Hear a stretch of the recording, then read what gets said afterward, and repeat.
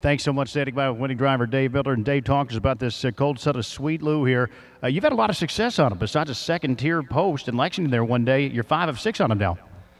Yeah, you know, uh, we, we've got along real, real good, uh, me and him together. They, they started him out in the, uh, the Commonwealth down there, and uh, after the first win, we talked it over, and I, I said, I just leave him in this class, you know, and let him, let him learn how to race, and he, he's got the hang of it.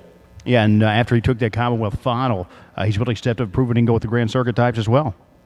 Yeah, I, I was, you know what, he's the type of horse that uh, he, he just goes what he has to, so uh, he, he, he's, he, he can go a little bit more, I believe. And he stepped up and earned it tonight. Obviously, the big favorite there was on the front, Beach Glass. Fractions were quick, but a tough trip tonight. Uh, he really dug in and earned it down the lane.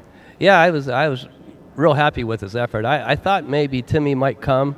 Um, you know, right there at the half. Uh, so now he's first over, and I, I, I, didn't know how he would hold up, but like halfway through the stretch, you know, he, he kept coming. You know, he's he's that type of horse. All right, best of luck moving forward. Six feet apart here in the Breeders' Crown Elimination.